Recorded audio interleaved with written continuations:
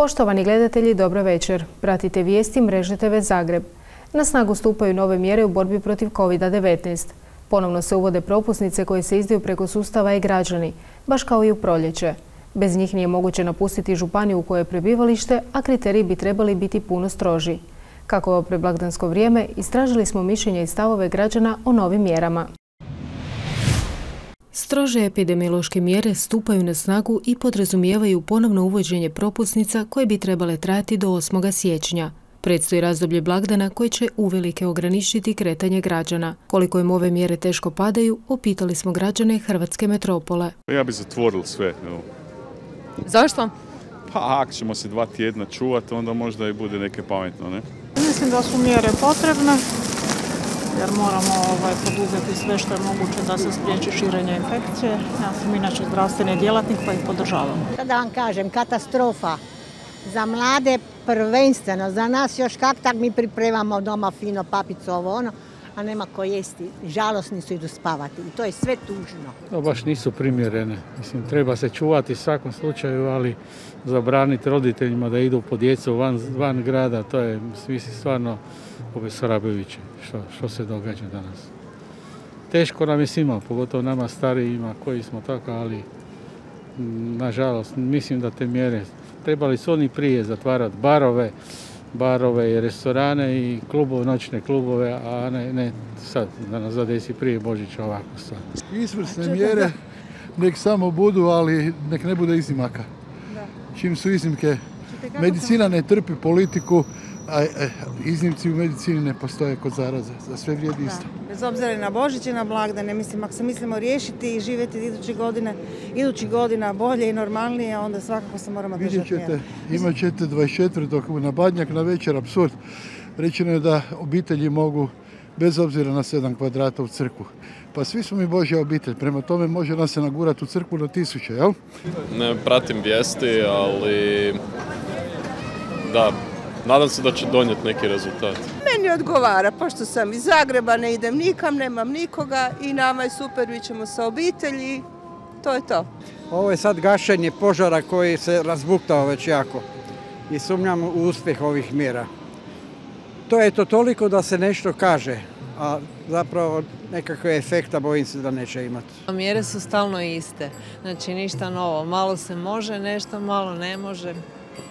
Pa vidite, ima milion ljudi, tako da nemam neko mišljenje. Podijeljenih su mišljenja, ali u jednome se gotovo svi slažu. Najbitnije ovim trenucima je fokusirati se na zdravlje. A što biste poželjeli svim građanima u ovo doba? Zdravlje i cijepivo, što prije, hvala. Poželim da nađu nekakav mir svako u sebi i da pokušaju stvari gledati s ljepše strane, biti sa svojim najbližima, čuvati starije. Puno sreće i zdravlja. Zdravlja prije svega i čuvajte se. Puno zdravlja i da ovaj čudo nestane.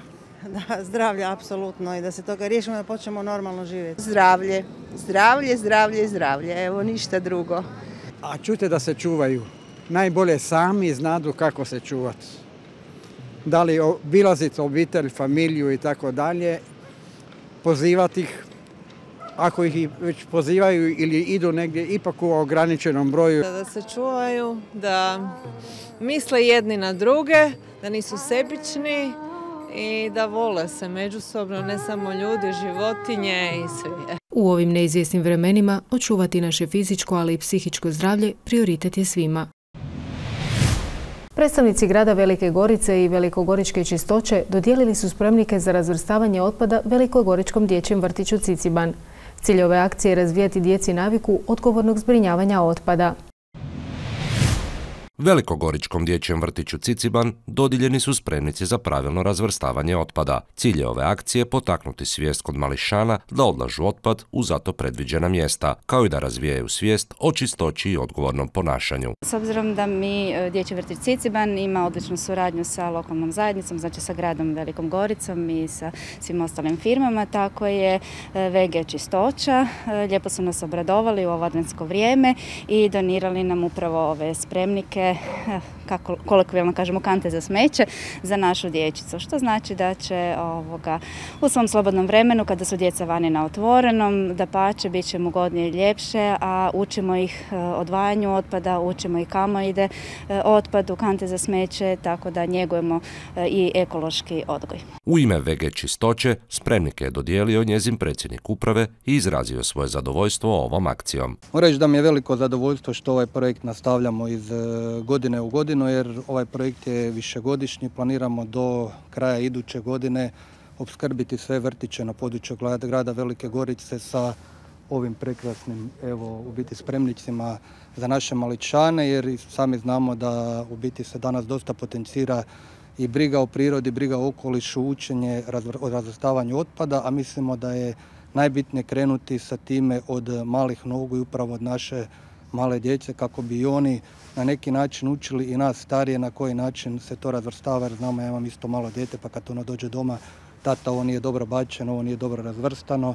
Tako da je u principu to jedan e, dobar modalitet da naš grad Veliku Goricu u biti i pozicioniramo kao jedan od e, najboljih gradova primjera u Republici Hrvatskoj. Gospodin Rak također je posebno istaknuo još jednu stvar. E, ono što bi naglasio da je ovo dio jednog cjelokupnog projekta, odnosno uspostave novog sustava gospodarenja otpadom na području grada Velike Gorice. Naime, ono što je nas očekuje u idućem periodu, a to je kroz iduća dva do tri mjeseca, jest e, dostava preko 22 tisuće posuda za razvrstavanje otpada Grad Velika Gorica je potpisao ugovor sa Fondom za zaštitu okoliša prošle godine i te posude su evo nakon, ajmo reći, dvije godine čekanja od kad je sam natječaj raspisan, počele pristizati na naše e, reciklažno dvorište u Mracinskoj Dubravi.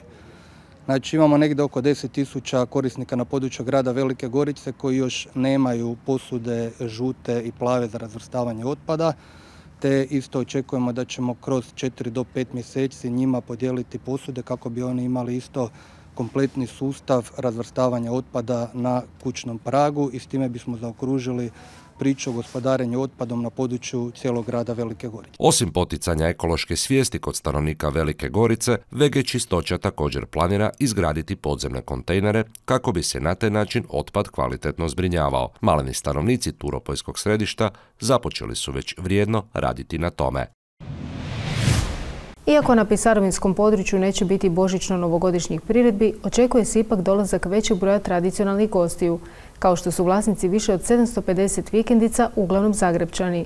Mamac je dalje prekrasna i čista priroda, te rute za bicikliste, rekreativce i ljubitelje nordijskog hodanja. Tek lijepo uređeno i okićeno ukrasima središte Pisarovine bit će jedino obilježje organiziranog božićnog i novogodišnjeg općinskog slavlja. Zbog primjene mjera zaštite od epidemije otkazane su sve priredbe.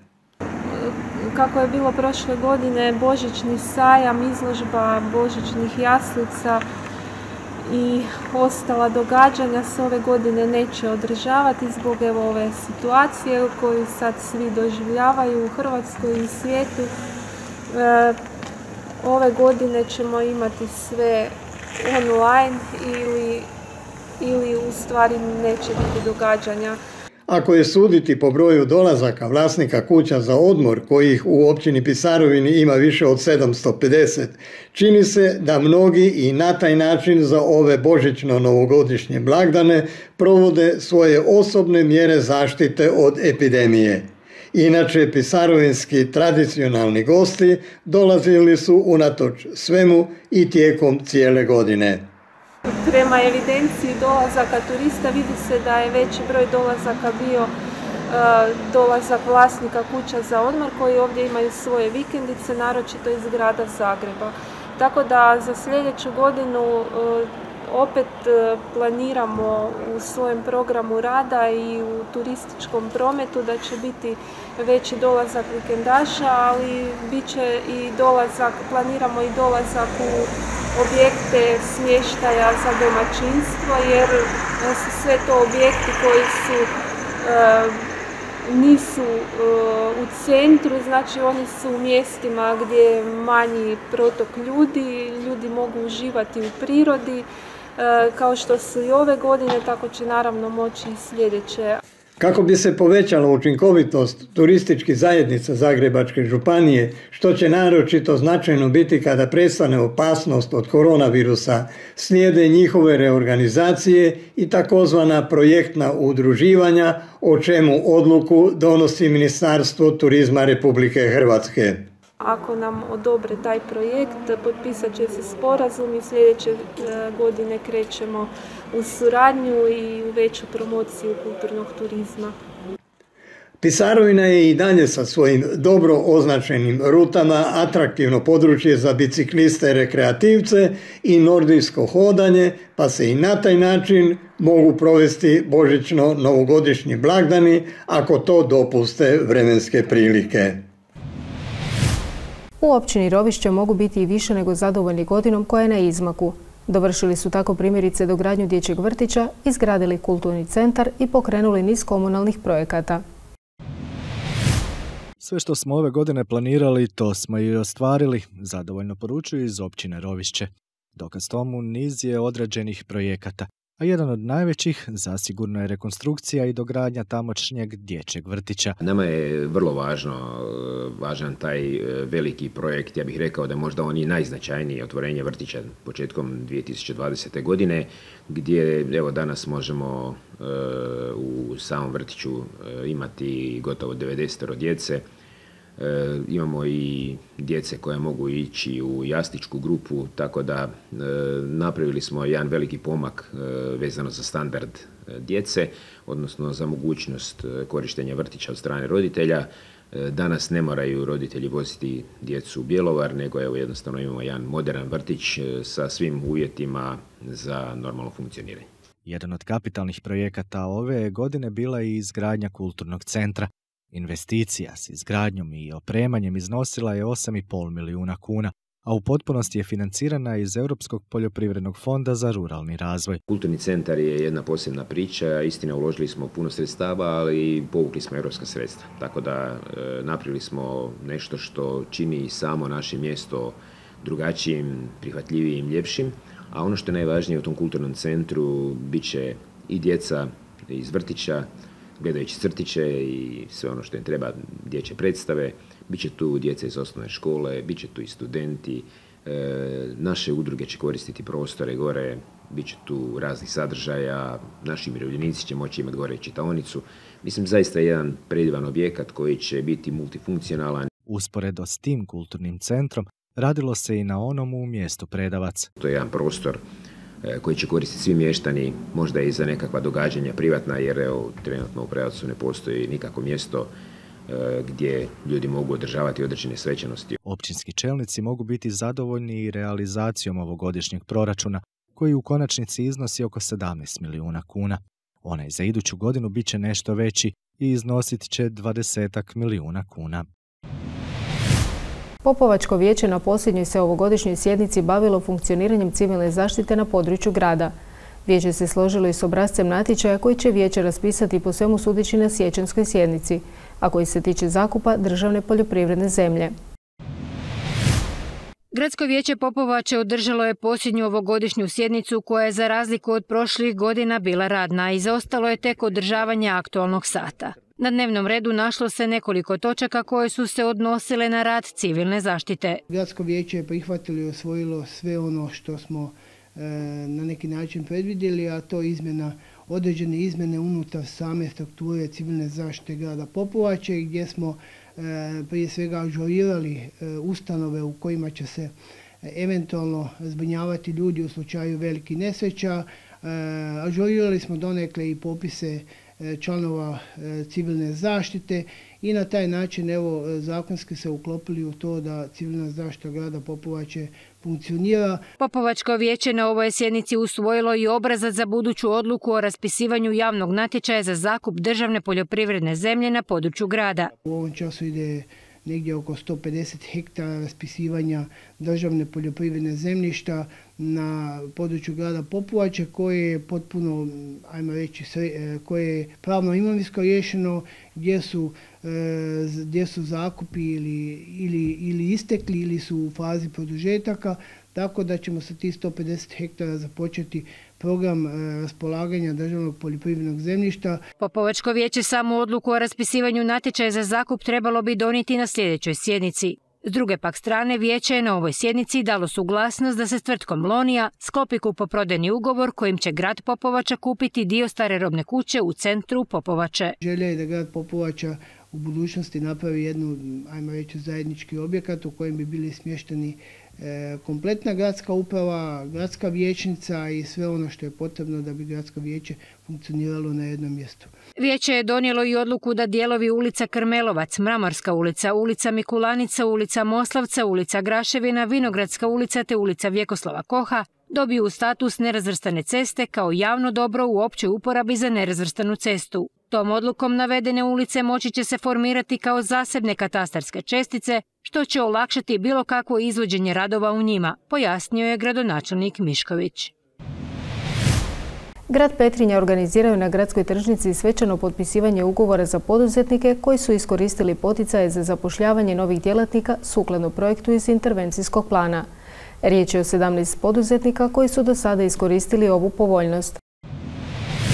Grad Petrinja je unutar intervencijskog plana za razvoj poduzetništva na svom području dobio projekt bespovratne potpore u vrijednosti 10 milijuna kuna.